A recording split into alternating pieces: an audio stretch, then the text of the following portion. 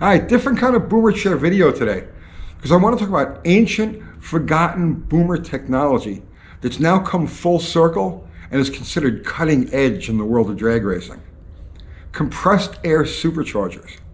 So, in recent months, there have been several cars out there running a system manufactured by a company called, oddly enough, Compressed Air Superchargers out of California. And these cars are running strong. They're not hurting themselves. They're going rounds. They're turning numbers. They're winning races using compressed air as the supercharger. So in lieu of, instead of a supercharger, you know, a ProCharger or Roots type of supercharger or a turbocharger or nitrous oxide or anything else, these guys are just using compressed air stored in bottles, force fed into the engine, and they're sending it. And the stuff is working.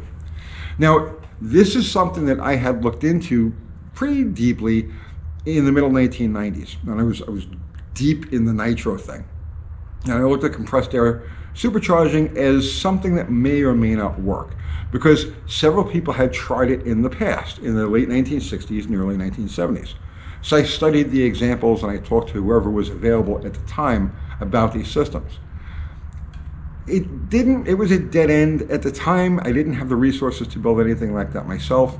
And it was, it was pointless trying to find a backer for it because the rule structure, the NHRA and the IHRA rule structure at the time dictated 1471 blower. That's it. No options for anything else. So I looked into it. It was technically intriguing, but that was it. It was a dead end for my purposes at that time. So I want to look at two examples. Um, to show you two examples. And, and I have to credit my buddy Brian Lohnes for the pictures on this story because I texted him this morning and I says, I want to do a thing on compressed air supercharging. Can you get me pictures of this, that, and the other thing? He, like within seconds, he texted me back the pictures. Thank you, Brian. I appreciate it. One of the greatest historians in the sport. You want to know about anything that happened in the world of drag racing at any particular time, Brian is the guy. And his channel, just Brian Lohnes, great videos. Thank you, Brian. So, two examples. One that was hopelessly outdated before it ever actually hit the drag strip, and one that was so far ahead of its time, it was way too far ahead of its time. And it actually, it appears to me, looks very similar in execution to what these guys are doing today with their compressed air superchargers. So, uh, the first example, Art Malone, Colonel Art Malone. So now, if, if you've never heard of this guy, um, and it's a shame if you haven't, because Art Malone was like a true Renaissance man. Uh, he was involved in IndyCar racing, stock car racing, drag racing. He ran Top Fuel dragsters. He ran Top Gas dragsters. Uh, he ran a Fuel Funny car, and uh, he, he was the guy had his hands in anything, in everything.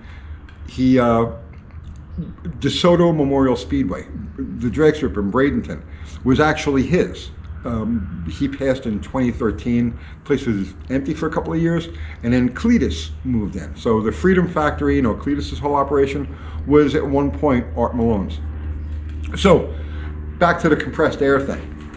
So in 1967, Malone has this idea to replace the 671 blower with a compressed air tank. Now, here's here he got robbed. He got robbed just because technology kind of like sidestepped him while he was building this car. So the state of uh, the art in 1967, as far as top fuel goes, was really nothing like what we have today. Uh, the, the slipper clutch had just come into play, and tire technology was evolving. But the typical top fuel run was very simple, very straightforward. They would push start the car, or sometimes start them on rollers, bring them around to the starting line, stage, and go. There was no burnout, back up, all of that stuff that we know today. Dragsters just ran a very, very straightforward thing. Fire it up, stage it, go. So along these lines, Malone figured that he would be able to have enough air in a tank to keep the engine running for that very short period of time, where the, all he had to do was just fire it up, pull it to the starting line, and send it. So he starts building this car in 1867. And this is a radical car. By, by in every the compressed air part of it was actually almost the least radical part of it. This was a 225 inch long. Now keep in mind, a long dragster in 1967 was like 180 inch wheelbase. This was over 220 inch long wheelbase dragster. And it was a rear engine and it was a sidewinder. And he needed all of that length and it for it to be a rear engine car because of the size of the tank that it took to feed this thing air from the time it fired to the time it actually went down the track. It was a brutally simple setup. It's compressed air plumbed directly to the top of the engine with an on-off valve. That's it, right? Stage the car, slam the valve, and go. Very, very simple. So it takes him two years to build this car. Now, the car itself is just absolutely amazing. As I said, it was a sidewinder. There were many sidewinders during this period of time, before the late 1950s into the 1960s. Many sidewinders. And a sidewinder is just where they take the engine and they mount it sideways. So instead of having the motor like this and then the rear axle like this, the motor is sideways in line with the rear axle. And they're driven by a chain, some of them are driven by gears. Well, what Malone did is, I guess to save in, in space and distance because of this Giganda tank he needed to carry. He actually mounted the engine between the back wheels. Typically, a Sidewinder would have the motor mounted in front of the rear wheels. Well, this was mounted between the rear wheels. And in order to accommodate an axle, he actually sent the axle, a three inch tube, through the valley of the 426 Hemi. So above the, so if, let's say if you took the intake manifold off, you'd look into it and you would see an axle. And then underneath the axle, you'd see the cam and the lifters and all of that. Crazy stuff. On the one end of it, there was a clutch. On the other end of it, and then the clutch was, was chain driven. And on the other end of it was, was the front of the engine, the, the fuel pump and all of that. Um, it had dual disc brakes, but on one wheel. So it was like one rotor with two, uh, two calipers crazy setup. So, like I said, oh, and pictures. So there aren't any pictures of this car with the tank in place from the day. The car wasn't photographed until middle of 1970, and by that point, the compressed air thing was done. You couldn't do anything with it. I'll tell you why in a second. So the pictures, most of the pictures that we have of this car are, are without the tank. By the time you, you see the car in pictures, it has a 671 blower and it, it's much more conventional. And it ran like 7.0. Now this is at a time when like 660s, 650s were, were running hard, actually running really hard, uh, at 225 miles an hour. So the car wasn't a slouch. But you see the car, you see the shape of the chassis in front of the cockpit where it's really, really wide and it narrows in. Well, that wide part was, was where the tank would fit. Now, the car still exists. It's in the Garlits Museum.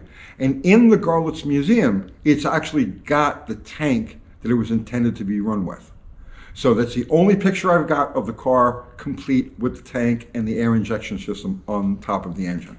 Now, the reason it was outdated before it hit the track, despite all of this like crazy next level technology and engineering, was the fact that during that period of time between 1967 and 1969, 1970, while, while he was building this car, Top Fuel changed completely.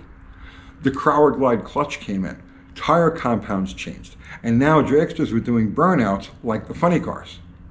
Well, that tank won't do the job anymore. The, you know, you, it's, the tank is enough to fire the car, stage it, and send it, but not enough to fire the car, do a burnout, back up, stage, and go through the whole rigmarole. So by the time the car was ready to actually run, it was outdated.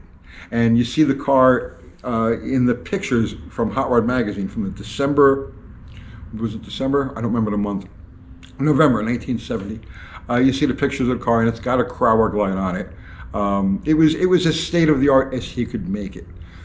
Um, but like I said, that, that, was it. That was the end of the experiment for that. Now, if the sport hadn't, if technology hadn't uh, changed, the, the, evolution of drag technology hadn't changed so drastically in that period of time, there's a good chance that car would have changed everything. But it is what it is. And like I said, the car is currently in the Garlits Museum. It, it's a real masterpiece. Um, now, the other, the other one, and this was far more sophisticated.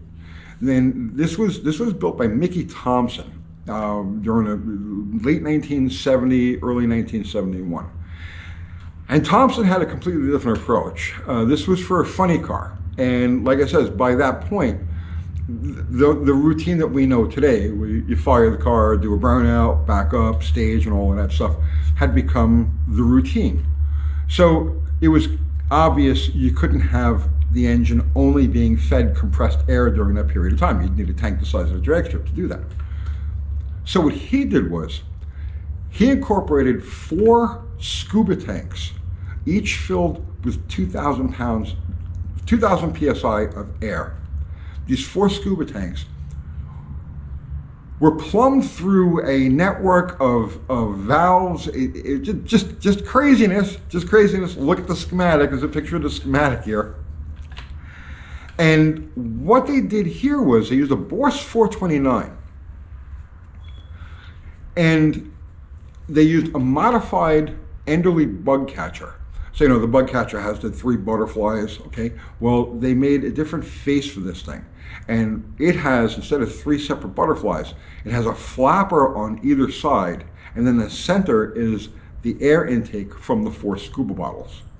So what happened was you'd start the car, do the burnout, back up and all of that, pulling air through the outside flappers. And then when you stage the car and you hit the air, the flappers would close and the engine would be fed from the four uh, scuba bottles. Very interesting setup. Now, Thompson made, this is crazy, okay? Thompson made 2,700 horsepower on straight alcohol with this thing. They strapped it to a dyno and sent it. Made 2,700 horsepower with it on alcohol. Now, at the time, a killer, killer state-of-the-art blown nitro deal was only worth about 2,100, 2,200, 2,300 horsepower or thereabouts. So on straight alcohol, compressed air, this thing was making more power than the, the stoutest of the blown fuel motors at the time. He had two problems with this now. The first was that that power was uncontrollable, right? The, the tuning, the, the tuning aspects of this were difficult to say the least. It was more or less all or nothing. You could bleed it in slowly, but slowly was a relative term. It would hit the motor and just blow the tires off. At the time, they were using very simple three-disc Crower glide, you know, three-disc, six-finger Crower glide clutches. There was no control as far as ignition. There were no, there was no clutch management, no nothing like that. All of the technology that came along later to stick that kind of power, it, it hadn't arrived. It wasn't going to arrive until the 1980s. So the car was handicapped by its lack of technology. And then there was another problem with it too, and that's that he was using the Boss 429 and this thing wouldn't hold head gaskets. So the Boss 429, for you guys that don't understand, don't know the engine, it didn't use conventional head gaskets. It used O-rings. It used four separate O-rings around each cylinder and then smaller O-rings to seal off the other passages, the water and the oil passages in the cylinder head. Well, this thing wouldn't hold head gaskets. It, blown nitro would marginally hold head gaskets. One of the reasons why the Boss 429 never really saw much success in the world of blown fuel racing. Um, it was it was abandoned before it really had a chance to go. The, the 429 didn't really find its its way in drag racing until the Mountain Motor Pro stock days uh, came along in 1982, 1983, and then it found a home. But it wasn't happy on nitro, and it definitely wasn't happy with 2,700 horsepower worth of compressed air, you know, supercharging. So those are two examples of cars that were built and run over 50 years ago. Wow, yeah, way over 50 years ago. God, I'm old. uh, and why they didn't work. What's the difference between the systems that they're using today and let's say the one that Mickey Thompson has used? Um, it's hard for me to say because I'm not that well versed in the system that they're they're running with now. It's interesting, and the, there's enough information out there. If you're really curious about it, you can do a quick search, a YouTube search, and you'll find several videos explaining the system and, and the ins and outs and so on and so forth. It's not cheap. It's not a simple system, and it's not cheap. You're talking about a, a, a roughly $15,000 for the basic setup which is kind of comparable. You can put a couple of turbochargers or, or you know a state-of-the-art pro charger setup on it. It's it's kind of and or nitrous. It's kind of compatible. It's about that same range, but yeah, the the price of admission is about 15 grand. And of course, like anything else in racing, it goes up from there. And then, of course, there's a support system that has to go with it because you, you do need to fill the bottles. So, you know, there's that whole, that, that whole deal. But it has a lot of advantages in that, you know, turbocharging, you've, you've always got a heated mixture, you've got to use an intercooler, none of that, right? And also, there's, there's also exhaust restriction when using a turbocharger. With the compressed air, there's none of that. The, the air going into the engine is chilled as it's expanded, as it's let out of the tank. So intake temperatures drop rather than rise. There's no need for an intercooler or anything like that. You don't have the parasitic losses of a supercharger of any sort. So it has pros, it has cons. The people who are using it are having success with it. They seem to be happy. So, you know, let's see where it goes from there. What I would like to know, it's related, but it's a little bit different. What I would like to know is why nobody has attempted, at least to my knowledge, a compressed air turbocharger.